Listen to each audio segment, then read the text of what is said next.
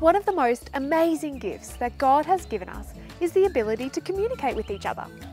And we can do that in lots of different ways, such as using our hands, using our face, or even using symbols. But one of the easiest ways that we can communicate with one another is using our words, by what we say to each other. Words have meaning and they help us to understand what is happening.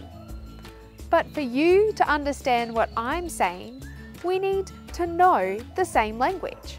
If I told you what to do in a strange made up language, it's going to be hard to figure out what you should do. But even if I told you something in a language that you do understand, you still need to check that the words all make sense. Come and fish the glitter news. Um, come and believe the good news. That sounds better. Speaking clear words is important everywhere, but especially when we gather together as God's people. We want to make sure that everybody understands what we are saying about God. We want them to have an opportunity to hear about who Jesus is, what he has done, and how they can follow him with their whole lives. It doesn't matter where they've come from or what language they have, we want to be able to gather together and all worship God.